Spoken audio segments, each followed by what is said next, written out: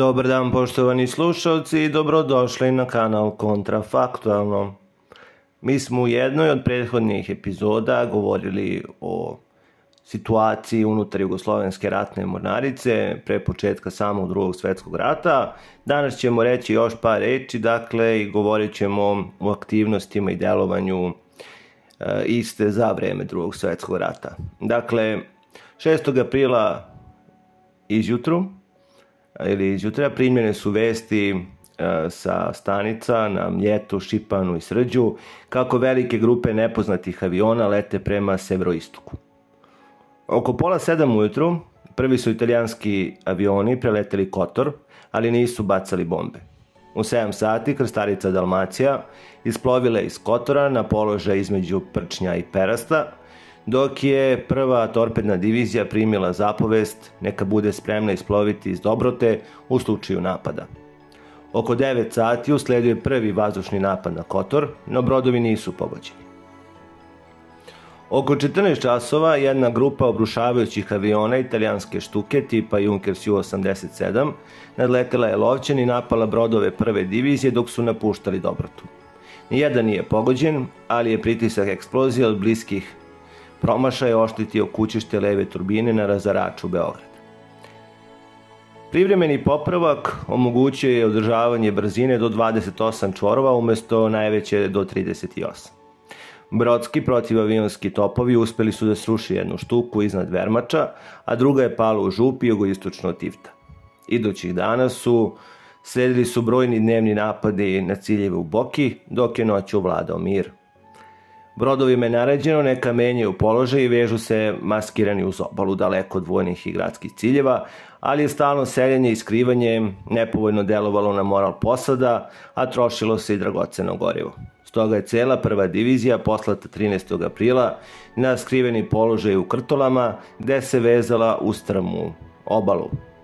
Tokom delovanja protiv italijanskih aviona, nemački nisu učestvovali u tim napadima, jako su to, jako se to spominje, srušeno je pet neprijateljskih bombardera, rušenje još dva nije potvrđeno. Nekoliko je manjih brodova ipak oštećeno, jedan remorker potopljen. Flotno je zapovjedništvo posle izbijanja rata razmišljalo o noćnom napadu površinskih jedinica na italijanske konvoje, konvoje između Barija i albanskih luka, ali su ti planovi brzo poništeni, bilo je razdoblje punog meseca i napad se ne bi mogao neprimetno izvesti, a flota nije imala podataka o položajima britanskih i grčkih minskih polja, za koje se verovalo kako su položena na u otranskim ratima. Takođe nisu bili poznati ni saveznički znakovi raspoznavanja i zapodništvo je Monarice zamoljeno neka nabavi te podatke iz Grčke. E, javljeni su položaj dva minska polja na Jadranu i signali za raspoznavanje britanskih i grčkih brodova koji su delovali između Valone i Birindizija. Flot je naređeno da čeka dolazak britanskog vojnog izaslanika Hardija u Boku, koji je trebao da donese potrebne e, i, podrebne, i podrobne planove. Izaslanik je stigao, ali nije imao nikakve dokumente, nego se brinuo kako da evakuiše britanske tajne agente u Grčku. Na osnovu prvih podataka odlučeno je da pošalju dve podmornice na crtu Birandizi i Drač, dakle Nebojša i Smeli, koji su isplovile 8. na 9. april, ali nisu našle ciljeve te su opozvane kako bi bile spremne za specijalnu operaciju, dakle evakuaciju važnih osoba iz Jugoslavije u Egipat, koja je konačno obavljena vazdušnim putem. Nebojša se vratio u Boku u 11. 11. aprila, a Smeli tek 14. ili 15. Još 9. aprila stigla je zapovest iz Splita sa zahtevom slanja flotnih jedinica na sever kako bi pod zapovedništvom jednog generala napale e, Zadar. Odgovoreno je kako je za tu operaciju već organizovan šibenski odred, ali ga se ne može pojačati kastaricom Dalmacija kao i podmornicama Hrabri i Osvetnik. Flotni je štab stoga prešao s Dalmacije na Belog Orla, no zadarska je operacija poništena kada je uveče 90. aprila primljena vest o osnivanju NDH u Zagrebu te o rasulu oružanih snaga na svim linijama fronta. Italijanski su vazdušni napadi na Šibenik bili sve učestali, oštećeni su matični brod Zmaj i pomoćni brod Spasilac, a tanker Perun poslati je s torpiljarkom T6 u sigurniju boku. Tamo je nesmetano stigao, ne susretnuši protivničke brodove. Umeđu vremenu se saznalo kako su Nemci zaplenili u Skoplju sve vojne i mornaričke šifre. Šifranske poruke više nisu bile sigurne i vest je trebalo slati otvoreno. Radio Zagreb je 10. aprila u ime NDH zatražio prediju druge torpedne divizije u Šibeniku, dok je treća divizija navodno već prešla na hrvatsku stranu.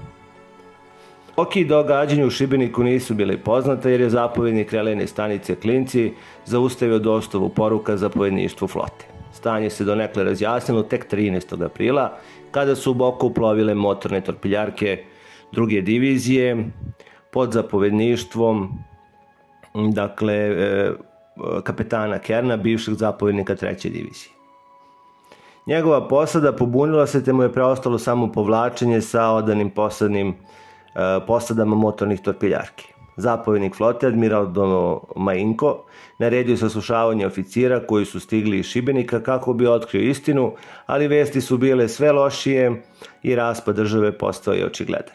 Sećanje kapetana korvete Stanislava Zvirna, zapovednika T6, e, kaže dakle da je što se tiče događaja u Šibeniku, torpiljarke treće torpedne divizije, to su bile T3, T5, T6 i T7, nalazile su se ujutru 6. aprila usidrene u Šibenskom kanalu na crti Adrija Zablaće i samo je T6 naoružena novim protiv avionskim topom Bofors kalibre 40 mm mogla da gađa italijanske vazduhoplove koji su doleteli iz smera Zlarina i napali e, Šibenik.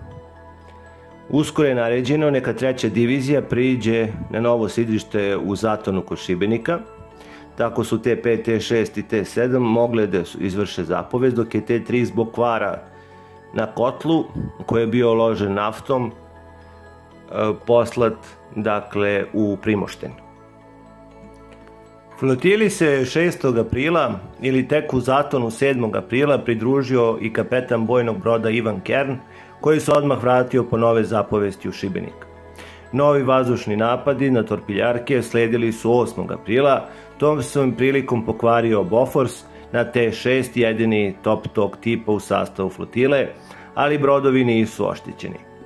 Prešli su u Prukljansko jezero i vezali se u Skradinu, no stanovnici su molili neka se maknu iz mesta kako ne bi bili bombardovani. Torpiljarki i jedan vodonosac ipak su napadnuti i oštećeni u vazdušnim napadima na Skradinu. Pre podne 9. aprila napadjut je torpedima u Šibenskom zalivu i tanker Perun i kapetan bojnog broda Kern zapovedio neka T6 krene s tankerom u boku Kotorsku. Zapovednik je predložio neka dragoceni brod prate motorne torpiljarke sa ispravnim topovima i dubinskim bombama za lov na podmornice, ali je predlog odbijen i T6 je oko 14 sati 9. aprila poslata s tankerom u boku, gde je stigla sledećeg dana, a pred lukom je dočekao minopolagač Jastreb. Na torpiljarku je u Lepetanima ukrcano oružje, municija, oprema i neki monari za Šibenik, popravljen je protivvazdušni top, te sa teretom krenula u Šibenik. Putem je 11. aprila e, pristala u Makarskoj, gde se saznalo kako je 10. aprila osnovana NDH. Gradić je bio pun vojnika koji su otišli kućama, a svuda su visele hrvatske zastave. T6 je nastavila plovidbu i predveče 11. aprila srela pred Šibenikom druge torpiljarke treće divizije.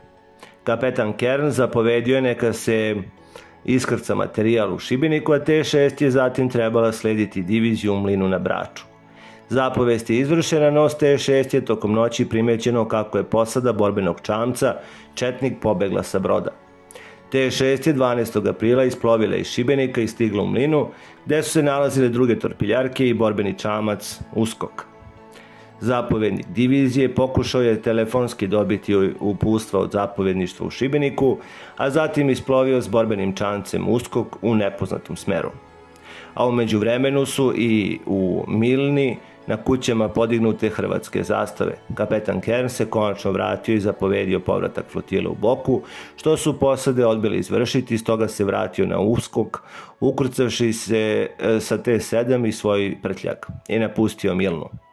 Zamenik zapovednika flotile kapetan korvete Zvirn, nije mogao uvesti red i javio nadređenom zapovedništvu kako su mornari otkazali poslušnost, a oko 30% ih je napustilo brodove. U Milnu je 13. aprila stigla motorna torpiljarka Triglav, tu je nadležni zapovednik bio Arnerić i donela zapovest, neka se treća divizija vrati u Šibenik gde treba evakuisati mornaričko zapovedništvo. Posade su poslušale, ali ih je u Šibeniku dočekala vest kako mogu napustiti brodove ili s njima preći u Split u sastav mornarice e, NDH. Kapetan korvete Zvirn dao je ostavku na svoj položaj zapovjednika T6 i 3. divizije, jer kao slovenac nije hteo preći na stranu NDH i torpiljarke su prosledili u Split, dakle u Divulje, gde su konačno ipak pali u italijanske ruke. Domijanko, e, Domajanko, Dominko je umeđu vremenu Boki sazvao sve zapovednike brodova na dogovoru u budućim planovima. Većina je bila za čekanje u Boki, dakle na razvoj dalje situacije, dok je zapovednik Galeba Zdenko Helenbach nagovarao kolege neka pređu sa brodovima u Šibenik i Split, odakle bi posade lakše došle kućama u slučaju kapitulacije. Domenko je ipak odlučio ostati u Boki dok je 14. aprila primljena vez zapovedništva Monarice o predstojećoj kapitulaciji i o zabrani uništavanju brodova i opreme. Istovremeno je u Boku Kotorsku stigao jedan kapetan dvorske žandarmerije s 40 sanduka prtljaga kralja Petra, koje treba ukrcati na razarač Dubrovnik, jer su dvori vlada nameravali tim brodom otići u emigraciju. Posle je prtljaga vraćena na Cetinje, sledio je novi sastanak zapovednika brodova, osim kapetana fregate Halenbaha, Helenbaha, čije mišljenje već bilo poznato, postale su tri opcije. Prva, prelazak cele flote u Grčku i nastavak borbe protiv Osovine, ostanak u Boki i predaj Italijanima ili odlazak u Šibenik na stranu NDH. Oficiri su na čelu bili protiv napuštanja otačbine jer su se bojali pobune monara koji bi se radije vratili svojim kućama. Jedan oficir, Srbin, čak je izjavio nek beže Simović, ja neću. Odlazak brodova u Šibenik, svi su oficiri, osim zapovednika štaba kapetana borbenog broda Kačića, smatrali pogrešnim jer bi bio protivan zapovestima o prestojećoj kapitulaciji.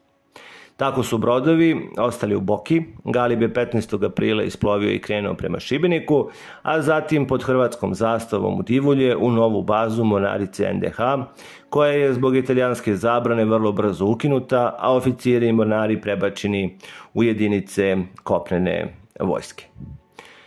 U Splicu i Šibenika stigli drugi brodovi, poput Zmaja, no tamo ih su i zaplenili italijani. Torpedni brod Četnik pod zapovedništvom poručnika korvete Velimira Škorpika udarile u divuljama svom snagom u obalu, slučajno ili namerno kako ne bi bilo od koristi neprijatelju, ali je popravljena ipak ušla u italijansku službu. Zmaji su italijani posle predali Nemcima, a ostale brodove zadržali. Britanci su još pokušavali da spasu svoje ljude, tako je 16. aprila u Boku došao zamenik jugoslovenskog ministra spoljnih poslova Smiljanić, tražići dopuštenje za isplovljenje putničkog broda kralj Aleksandar I sa ukrcanim britanskim ljudima iz Risna u Grčku. To je zbog opasnosti iz vazduha bilo nemoguće, a takođe ni upotreba podmornica koje su još čekale na svoju specijalnu misiju. Stoga su se istog dana u Boki oko 15 časova spustila dva velika britanska hidroaviona tipa Sunderland i ukrcala 45 osoba, među njima i sekretara Smiljanića, te ih prebacili u Grčku. Tog dana pao je i bar, a jugoslovenska vojska se povlačila u neredu prema Boki. Uveče je britanski vojni zaslanik tražio dopuštenje za uplovljenje jednog britanskog razarača u boku kako bi spasio diplomatsko osoblje, ali mu je to uskraćeno jer bi dolazak britanskog broda mogao izazvati i italijanske represalije pa čak i bombardovanje. Umesto razarača je posle jugoslovenske kapitulacije u boku stigla britanska podmornica Regent, koja se takođe vratila neobavljenog posla i većina osoblja pale u italijansko zarobljeništvo. Kad je postalo jasno kako je sve izgubljeno, neki su oficiri i monari odlučili sa svojim brodovima prebeći Britancima. Zapovednik podmornice Nebojša, kapetan prve klase Andrišek, iskrcao se 16. aprila, a njegov prvi oficir Đorđe Đorđević ponudio je dakle Đorđu Mitroviću, u to doba zapovedniku barž, baražno-minskih zapreka Boke, neka preuzme podmornicu kako bi s njom napustili Boku, što je ove odmah prihvatio. Tri oficira i 28 podoficira stalne posade odlučilo je preći saveznicima, a priključilo se još 14 podoficira iz rezervne posade. Podmornica je napustila Tivat uveče 16. aprila i stigla u Kumbor, gde su se ukrcala još tri pomorska oficira sa nekoliko vojnih i civilnih lica. Nebojša je napustila Kumbor ujutru 17. aprila, prvi deo puta ploveći pod vodom, a uveče puneći akumulatore u površinskoj plovidbi. Prošla je kroz Otranski tesnac 18. aprila, stigla u Argostoli na Kefaloni 20. aprila, a zatim 22. spovila prema Kritu i stigla u zaliv 24. aprila. Put u Aleksandriju nastavljen je 26. zajedno sa britanskim i grčkim brodovima i monitornim torpiljarkama Durmitorika i Makčela, koji su isto otišle iz Boke. Mali konvoj uplovio je u Aleksandriju 27. aprila, a Nebojša je kod ulaska u luku mogla koristiti samo elektromotore jer su oba dva dizel motora pretrpela oštećenja. Torpiljarke, Durmitorka i Makčelan Triglavi dinara krenuli su pod zapovedništvom Ivana Kerna 17. aprila iz Boke, no Triglav se morao vratiti kad je u motornom prostoru izbio požar. Dina mu je trebala pomoći, ali kad su oba broda stigle do kopna, posade su se razbežale, a torpiljarke su posle zaplenili, zaplenili italijani. Durmitor i Makčalan napustile su Boku, a osim smanjenih posada na njima je bilo još nekoliko oficira i podoficira. Sa Dalmacije, Jakog, Velebita, Triglava i Orjena, koji se nisu hteli predati italijanima. Torpiljarke su nesmetano prošle kraj italijanske signalne stanice na ostrovu Saseno kod Valone i stigle na krv. Posle su se razdvojile zbog kvara motora na Durmitoru, koji je stigao na Paxos 18. aprila, a na Krit 20. aprila. Kajmakčelan je pretrpeo kvarovi na, svi, na sva tri motora, ali je doplovio do Argostolija, gde je sreo Nebojšu, a zatim do Krita, gde se opet ujedinio sa Durmitorom.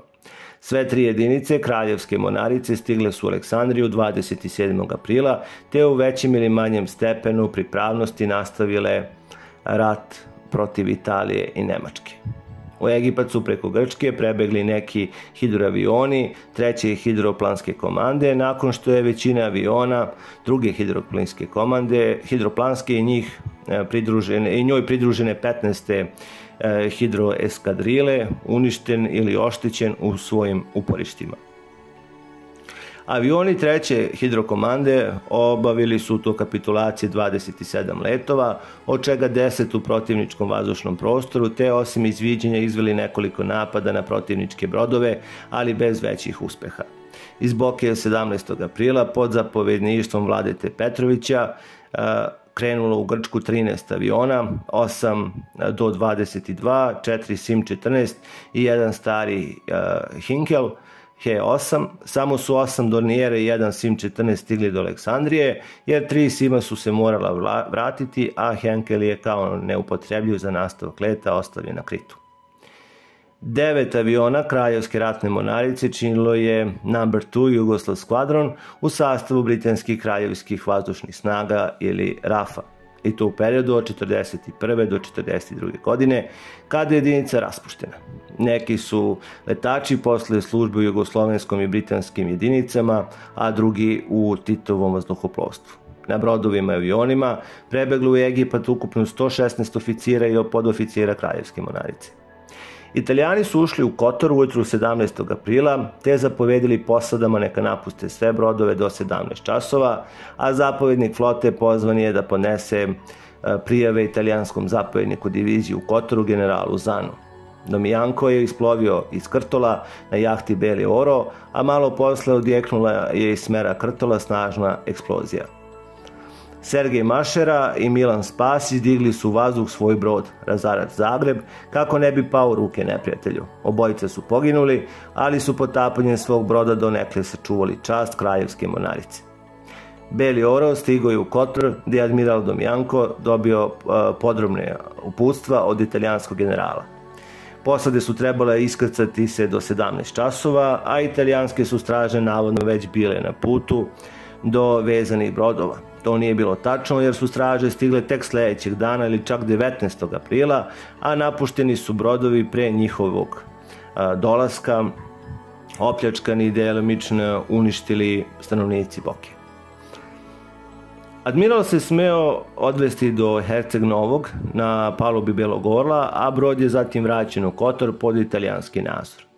Sve druge brodove isto su zaplenili italijani te su uvršteni u italijansku kraljevsku mornaricu ili regija marina, a njihove kasnije sudbine tokom i posle rata mogu biti dakle tema nekog drugog, neke druge epizode, mada već smo pričali o nekima od njih.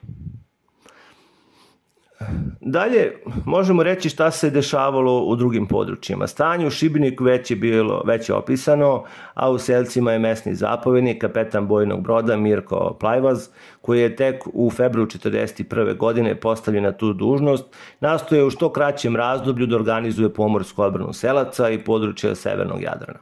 Zapravo uklještenog između italijanskih područja rijeke Lošinje i Zadra, Zgrada zapovedništva napadnuta je iz vazduha ujutru 6. aprila posle jedan parobrod na moru, a na području zapovedništva zavladao je nered. Kada je proglašena NDH, Plajevaz je 10. aprila sa odredom mornara otišao u crkvenicu kako bi uhapsio zapovednika mesta majora Petra Kvaternika, koji je preuzeo vlast u ime NDH.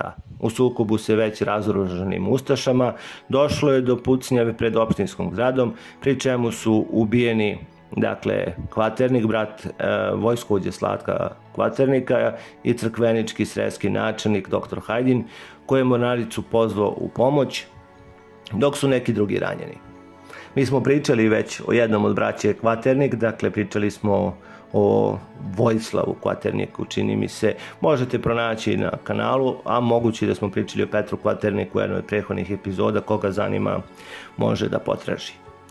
Veze sa nadređenim zapovedništvima nisu delovale i Plajvaz je pre povlačenja na svoju ruku zapovedio potapanje plovećeg doka u kralje Vičkom brodogradilištu, što nije izvršeno, te sedam brodova Jadranske plovidbe, dakle Slavija, Lav, Knin, Zagreb, Triglav, Senj i Beograd, uvali klimnu na Krku, što je obavljeno 11. aprila. Brodovi su potopljeni u Plićaku, te su ih italijani posle lako podigli jedinice kopnene vojske bile su u begu, te im se Plajvas pridružio prvo automobilom, no zapovedio je neka ga minopolagač Malinska i tegljar Silni slede prema jugu. Silni se putem izgubio, navodno potopljen od vlastite posade, dok se u Malinska uh, se pojavila u pratnji dvea broda fran, uh, finansijske pomorske straže. Jedna od njih otišla je u smenu Karlobaga, dok je druga, Kraljević Marko, s ukrcanim plajvazom nastavila put u Barić Dragu. Tamo su se odredu priključili mali popisni tegljač i jedan motorni trabakul. Na Malinsku se ukrcao i odred graničara, koji su s mornarima nastavili put do ušća Zrmanje. Tegljač je potopljen pred Barić Dragom, Trabakul i patrolna, patrolni brod su poslati neka sami pokušaju da izbore se za svoju sreću. A Malijska je 14. aprila doplovila zrmanjom do Obrovca, gde ju je posada potopila. Vonari su i graničari pod Plajvazovim vojstvom krenuli u Bosnu, uvereni kako se tamo sprema odlučna odbrana Jugoslavije, ali je rat gotovo već bio gotov. Plajvaz je preko Zagreba stigao u Sloveniju i preživao rat jer ga italijani nisu hteli izručiti NDH kako bi pred hrvatskim e, dakle nelegalnim ustaškim sudom odgovarao za događaje sa početka rata. Rečni monitori bili su slabije sreće. Monitor Drava vodio je od 6. do 12. aprila uspešne e, topničke dvoboje sa mađarskim oklopnim brodovima. Deo se posade zatim iskrcao, a kad je brod prebačen do e, Čelar, e, Čiba ili do Čelareva, napali su ga nemačke štuke i potopile s većim delom preostale posade. Tu je poginuo i zapovednik Berić. Topovi Drave uspeli su tokom napada da sruše dva aviona. Monitori Morava i Sava, Vardar, zatim povukli su se u Zemun gde su ih 12. aprila zajedno sa zapovednim brodom Cer potopile vlastite posade. Pomorci su zatim krenuli uzvodno Savom na rečnim brodovima, Tanasko Rajić i Raška, kako bi preko Bosne stigli do Boke Kotorske. Kad su tegljači prolazili ispod železničkog mosta na Savi, most je dignut u vazduh, namerno ili zbog loše koordinacije sa kopnenom vojskom, neki izvori spominju nemački vazdušni napad, te se srušio na Tanaska Rajića i potopio mali brodići. Poginulo je 95 ljudi, većina njih sa Vardara, a Raška je spasila samo 15. Monitori su Sava i Morava posle podignuti služili u rečnoj flotili NDH kao Sava i Bosna, dok je Vardar ostao zakupan u rečnom mulju. Moguće je da je do dan danas tamo. Cer, dakle to je bivši austrugarski brod Helene, isto spašen i služio je kao zapovedni brod Vrbas rečne flotile NDH, a posle rata kao komandni brod Srem rečne flotile Jugoslovenskog ratnog monarstva. Monarički granični odred na Ohridskom jezeru povukao se 6. aprila iz Ohrida do Svetog Nauma, gde su graničari i stražar potopile vlastite posade koje su se zatim povukli u Grčku, gde su ih zarobili Nemci. Nekoliko ih je poginulo, zajedno sa drugim jugoslovenskim zarobljenicima na grčkom brodu Eleni Kanavarioti, koji je prevođio za ratne zarobljenike i 27. aprila naišao na minu. Prema drugim podacima, graničar i stražar nisu potopljeni, nego su ih zarobili Bugari, koji su ih e, koristili kao graničar i straž u sastavu vlastite Ohridske flotile. Posle rata vraćeni su Jugoslavije, jedan od njih potonuo je tek 2009. godine kao turistički brod na Ohridskom jezeru. Raspad jugoslovenske kraljevske monarice nije bio posledica jednog, jednog uzroka, nego spleta okolnosti niza grešaka u strateškom, taktičkom i operativnom planiranju, te manjka nedvosmislenih zapovesti. Glavni razlog poraza bilo je nepostojanje protivnika na moru, jer su italijani čekali jugoslovensku kapitulaciju kako bi uplovili u sigurne vode očišćene od mina. Zato su neki kraljevski bodovi mogli nesmetano preći iz Šibenika u Split ili čak u Boku, kao na primjer tanker Perun iz Selca do Obrovca, iz, bloka do, iz Boke do Šibenika i tako dalje. Možda najveći neuspeh Jugoslovenske kraljevskog ratnog monarstva je izdaja u sobstvenim redovima. Dakle, većina mornara koji su bili iz krajeva tadašnje zapadne Jugoslavije se odlučila dakle da se prikloni NDH, da li straha za svoje porodice. E, nije izvesno da su većina videli NDH i Pavelića i Ustaše kao rešenje za neku buduću državu, naročito e, nakon zločina koje su već posle 10-15 dana počeli da se dešavaju, prosto po inerciji da bi zaštitili svoje porodice, tako da je to u velikoj meri oštetilo komandni kadar, a i dakle i monaričko osoblje Jugoslovenske ratne monarice. Toliko o ovoj vrlo zanimljivoj temi. Nadam se da vam se epizoda dopala. Pišite u komentarima i vidimo se uskoro. Prijetno!